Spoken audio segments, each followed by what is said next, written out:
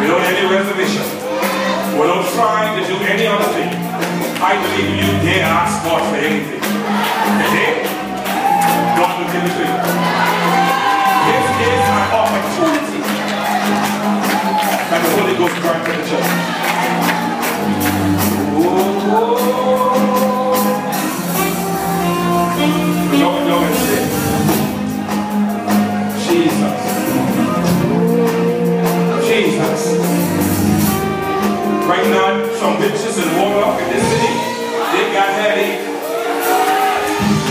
Some of them can't sleep now.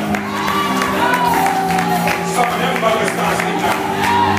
They ain't gonna get saved or they going crazy. I said they ain't gonna get saved or they going crazy.